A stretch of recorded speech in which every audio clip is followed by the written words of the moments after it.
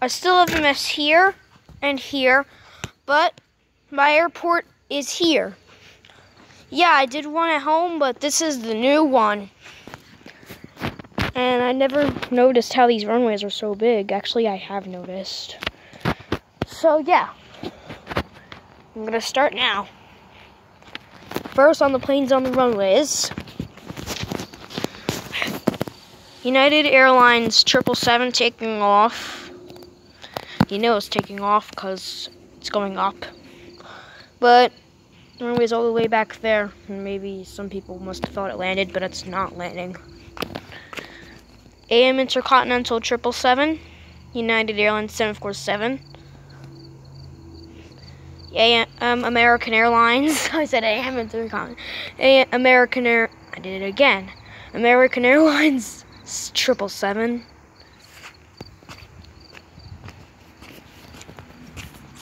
United Airlines 747 uh, here. United Airlines 747, only Darren in the Globe, Globe livery. Um, Airbus A380 operating Qantas. And British Airways Concorde. Yeah.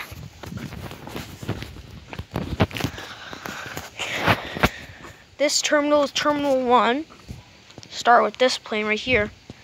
Delta Airlines 757, Delta Airlines 7777, Delta Airlines 7674, 100, Delta Airlines A350, Northwest Airlines DC-10, Southwest Airlines 737, Delta Airlines 757, wait, did I say that's a 757? That's a 737, if I said it. American Airlines 777, Delta Airlines 767 300. That's what I'm going to say from now on. And Continental Airlines MAX 777.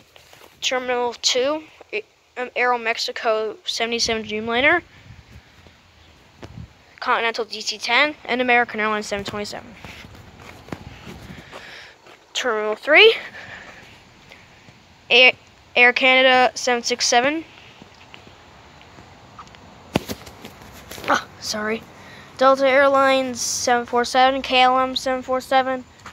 United Airlines over there pulling back. American Airlines DC-10 and Air France Concorde. And so that's my airport. And back here, other planes.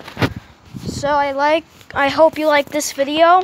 Please enjoy subscribe. Yes, I'm at my grandma's now. Thanks for watching.